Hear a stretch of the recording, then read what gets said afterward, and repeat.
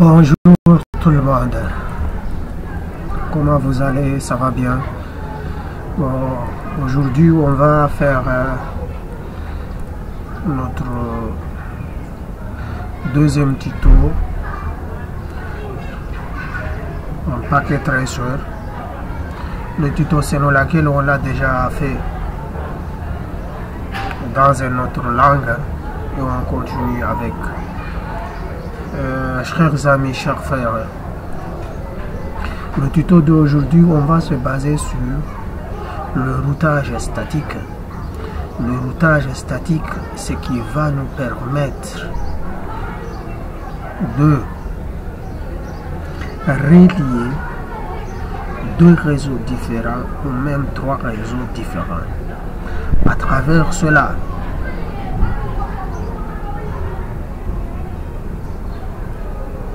j'ai préparé cette partie que vous voyez ici pour nous épauler d'une manière automatique et chacun d'entre vous puisse directement voir les différentes interfaces. Le routage statique se font en deux manières. La première manière, c'est que on écrit notre adresse réseau distant, le masque de sous-réseau, plus l'interface de sortie. Et enfin, dans le deuxième méthode, on pouvait directement, au lieu de mettre l'interface de sortie, mettre l'adresse IP de l'interface de sortie j'ai mis ici FA00 tout le temps FA00 mais euh, dans euh, si chacun d'entre vous a téléchargé l'application la plus ancienne en paquet tracer il doit utiliser ça quoi. Du coup je ne voulais pas mettre mes guides alors que euh, lui il pouvait directement se poser des questions. Du coup je l'ai mis directement. Et après on écrit directement IP route, l'adresse en question, l'adresse en question, puis le quoi, puis l'adresse de sortie. Là, c'est-à-dire l'interface de sortie, pardon. Alors, on va pas tarder là-dessous. On va directement faire le travail ceux qui n'ont pas pu suivre le premier tuto, je les conseille d'aller directement regarder le premier tuto et ça sera mieux. Ça sera mieux parce qu'il comprendra très bien les commandes de base. On l'a déjà tapé là-bas, on a mis tous les, les, les, codes dans Google, Google Classroom. Merci.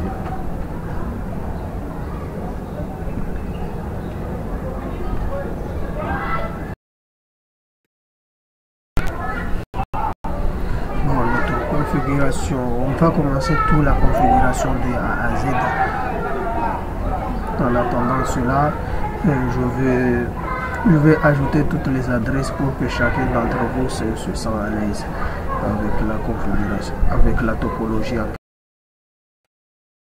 Ici, nous avons trois réseaux. Le premier réseau, il est là avec l'adresse 192.168.4.0/24. Le deuxième, il est ici avec l'adresse 192 ou 168.10.0/24.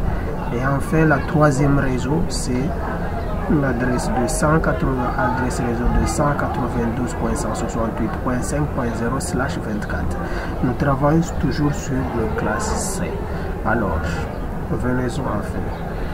Nous cliquons directement notre premier ordinateur qu'on a ajouté ici. On peut ajouter d'autres. Nous utilisons un seul ordinateur pour le moment. Alors on met directement l'adresse 192 ou 168.4.10 et puis nous ajoutons directement le passerelle par défaut bien sûr c'est avec l'interface de sortie avec le switch là juste à côté avec l'adresse 192.168.4.1 parfait. Après on va ajouter aussi ici 192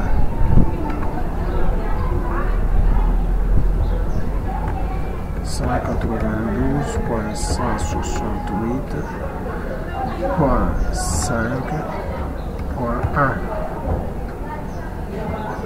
d'accord. Alors ici là on va directement aller directement au commande interface line. Non. Et nous commençons directement notre travail. Configuration terminale host line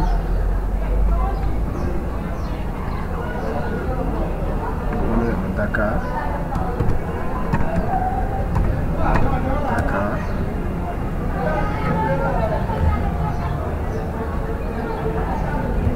interface. Gets 0 slash 0 IP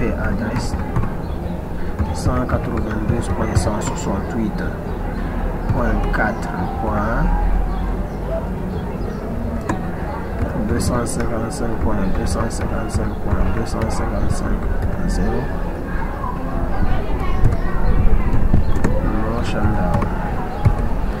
voilà l'interface est déjà allumée on va directement dans l'autre interface.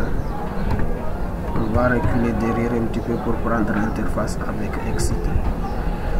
On va taper directement notre interface serial 0 slash 0 slash 0 alors IP adresse 192 168 point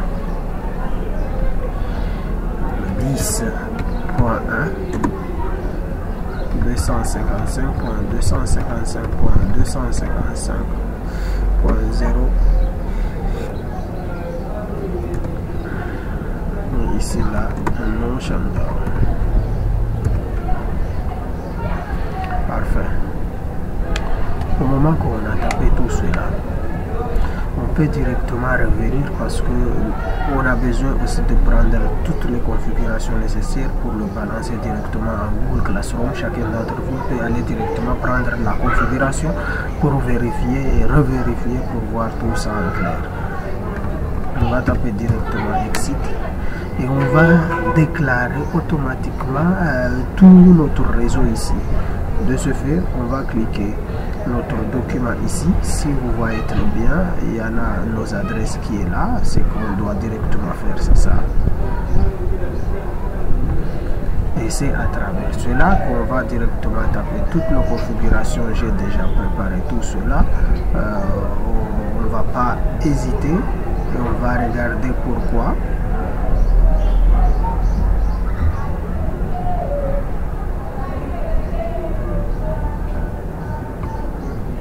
expliquer comment. Comme nous sommes là, comme nous sommes là, on va déclarer cet réseau-là, le réseau qui est ici, ici, là, à l'interface qui est ici, premièrement, puis on va déclarer le réseau qui est là, pas toujours à l'interface qui est là, mais aussi à l'interface qui est ici. C'est ça notre objectif. Alors, pour commencer, on déclare les réseaux qui se trouvent directement à Dakar. Ça, c'est le premier objectif. Alors, IP route 192.168.10.0 255.255.255.0 Premièrement, puisque vous voyez très bien que ça c'est le réseau du céréal, on va ajouter quoi? On va ajouter directement euh, notre get Parce que c'est le get qui doit savoir le réseau du céréal. Et c'est le céréal qui doit savoir. Bon, vice versa, ce qui est sûr. 0 slash 0. Au moment qu'on va taper cela, on va rappeler juste la commande. Et on va effacer tout ici. Ça, c'est une méthode simple. Et ici, là, on sait très bien que le point 4, c'est celle du, du ou bien du, du fast. On va le modifier et après on va mettre directement le céréal à la fin.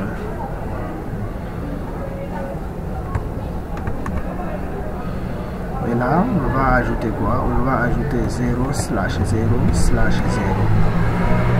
Et on valide directement entre. Parfait. Ce travaux-là est fait. Ce qui fait que tout ce qui est de ce bout-là, la première partie est terminée. Euh, C'est-à-dire le bout-là. Ça, les deux réseaux se connaissent bel et bien.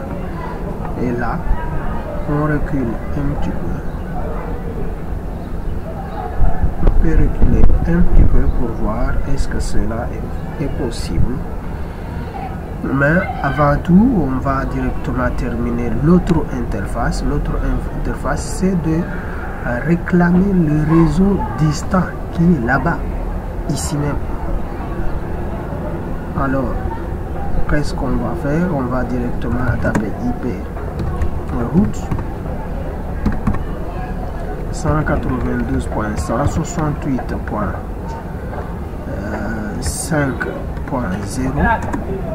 255.255.255.0 et puis nous savons directement que c'est le réseau distant mais ici là on va commencer par céréales 0 slash 0 au moment qu'on la valide on le rappelle parce que puisque ça se trouve le réseau qui est au milieu notre réseau dans la partie céréale ils le reconnaissent mais le FAT aussi ou bien le GET aussi doit aussi le reconnaître aussi. Alors là, on va mettre le GET 0 slash 0 et on valide. Au moment qu'on a tout terminé cela, on va faire quoi? On va sortir un petit peu, on va faire copie, start type config et on valide. Et là, on va recopier tout notre code. On l'amène à notre fichier et cela va permettre directement que chacun d'entre vous s'il trouve des difficultés il peut directement aller jeter un coup d'œil. Ça va faciliter beaucoup de choses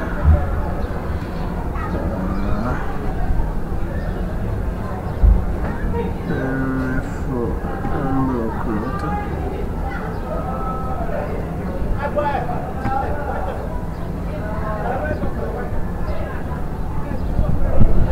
Voilà.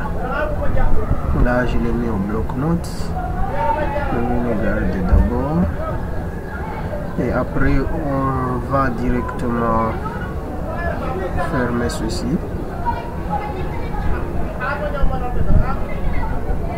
On va arriver ici là. On démarre notre réseau.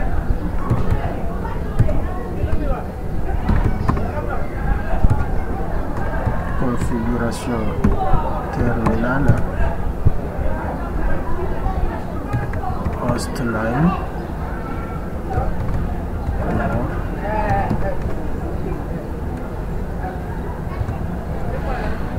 hostline donc dès que c'est ok c'est ok là on va directement prendre notre première interface on déplace comme ça on peut voir très bien nos interfaces voilà, nos premières interfaces, c'est quoi? Première interface. Get. Là, c'est get quoi 0 slash 0. IP ADD. 192.168.5.1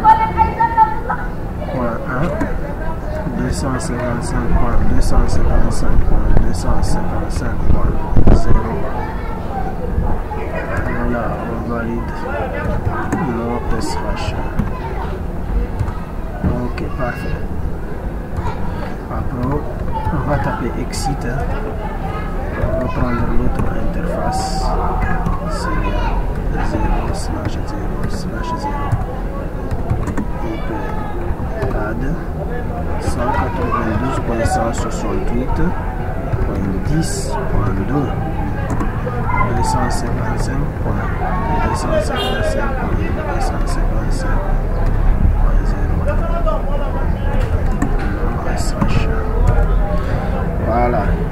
Si on regarde très bien ici, on trouve que toutes les interfaces sont bel et bien allumées.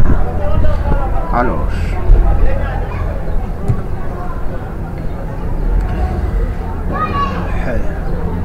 alors on va continuer on va continuer notre processus. On va taper exit.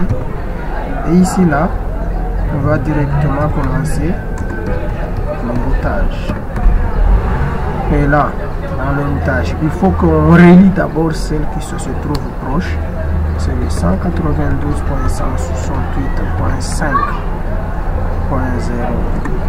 255.255.255.0 puis interface de sortie c'est céréales 0 slash 0 voilà. On le valide. Après cela on va rappeler en modifiant juste celui-là par gets 0 slash 0 on va directement ici là où il y en a 5 par 10 on valide. Parfait.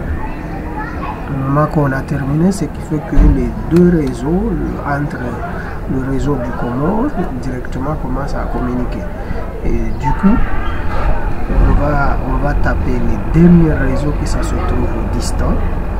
Euh, notre réseau distant, c'est le, le point 4. Ici, on va mettre 4. Si vous voyez, si vous regardez très bien va mettre les 4, on va le valider. Après les 4, on va remplacer directement par le céréal. 0 slash 0 slash 0. Et puis on va le valider aussi. Là, on peut dire directement que notre travaux est terminé. Là, on va tout s'enregistrer.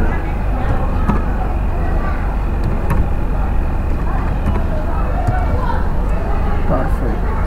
On va recopier.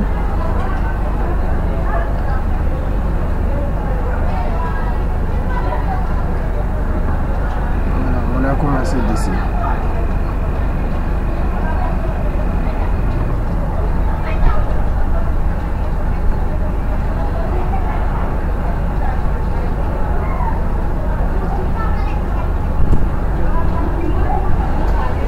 On va chercher une autre. Donc, sinon on risque de tout perdre ici. Bon, c'est pas grave. On utilise la même chose. On risque de faire cela.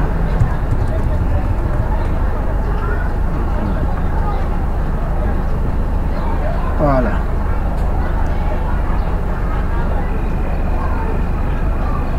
Voilà, qu'on a tout terminé cela, on peut directement commencer à faire les tests. Du coup, premièrement, on tape IP, IP config. On voit que on a configuré nos réseaux bel et bien. Là, on va faire le premier ping ici à 192.168.5 point 1 d'abord pour voir est-ce que le réseau communique. Oui, après on va remplacer celui-là par 10. On va remplacer celui-là par 2. Oui. Après on va le remplacer par 1. Est-ce qu'elle peut communiquer avec le réseau distant? Voilà, ça fonctionne aussi. Il y en a quelques pertes, il y en a deux pertes.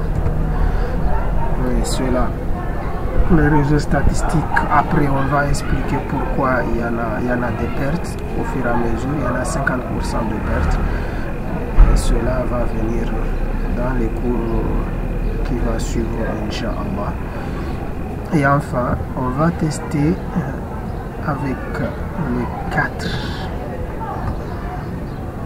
4.1 c'est notre réseau, notre dernier réseau de l'autre côté.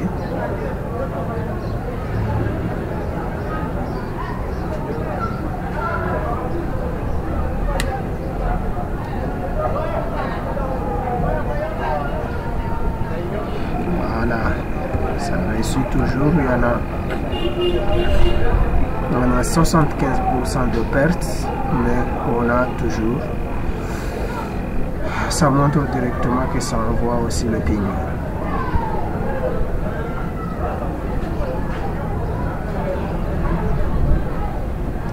Voilà, et après cela, on sait très bien que notre réseau communique avec l'autre côté. Peut tester avec le 10, ça c'est le dernier. C'est le 10.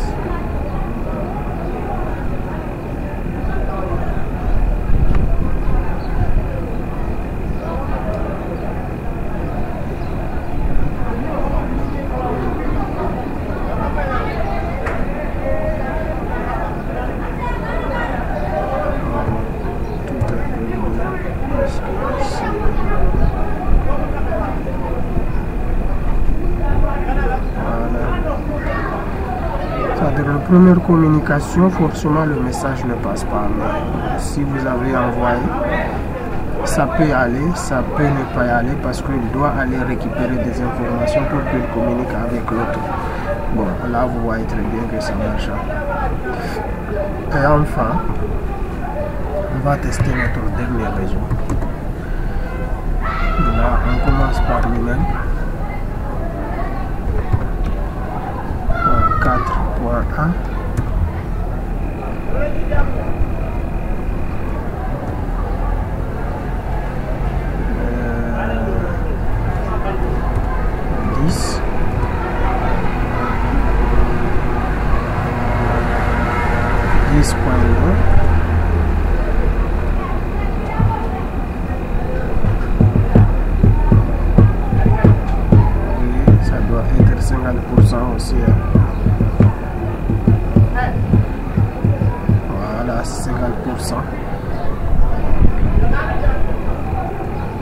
voyez très bien, c'est 50%. Enfin, pour le troisième réseau, c'est là où on va directement. On a sorti de 50%, on a sorti de 100% à 100% au premier réseau et puis 50% au second routeur qui est un peu loin et en fait on va arriver à dernier réseau.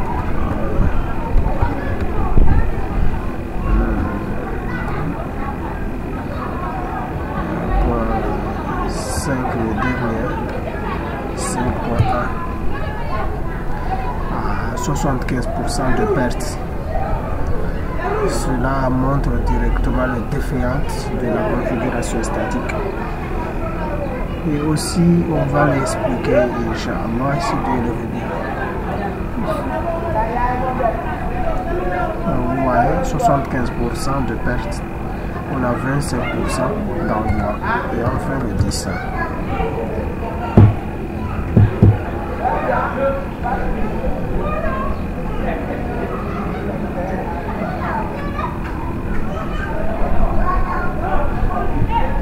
Voilà, est bel et bien passé. Voilà.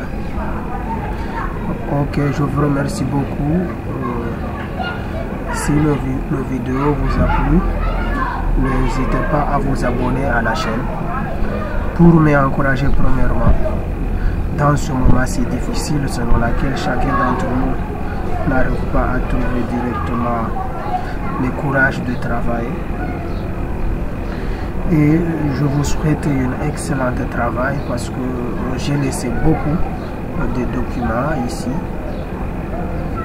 Si vous regardez, vous passez directement à la chaîne. Vous pouvez voir bel et si j'ai la connexion. Classroom ici là. Il y en a beaucoup de documents euh, de topologie pardon là-bas.